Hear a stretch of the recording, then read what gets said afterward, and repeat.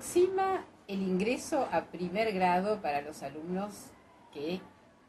comienzan su escuela primaria. Estos niñitos de 6 años están con un entusiasmo increíble y me parece que ese es un campo tan pero tan fértil para aprovecharlo porque ellos tienen tantas ganas de leer, de escribir, de dibujar, de ir relacionándose con eh, aspectos intelectuales que es importantísimo poder canalizar todo eso para que realmente puedan hacer no solo un lindo primer grado, sino una buena escuela primaria, secundaria y todo lo que siga. Por eso estamos con Elena, que es eh, nuestra directora eh, del colegio primario, que nos va a contar cómo va recibiendo a los chiquitos que vienen de jardín y cómo se preparan.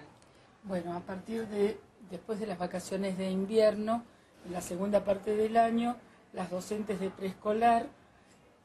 previo de haber trabajado con la directora de jardín en todo lo que es articulación, comienzan a pedirle a los chicos un cuaderno para enviarles tareas, su cartuchera, para eh, empezar eh, a tener útiles y las cosas que ellos necesitan después en la escuela primaria. Ellos les entusiasma muchísimo trabajar con ese material, ¿no es cierto? Les encanta trabajar con ese material, les encanta tener un día de visita al kiosco,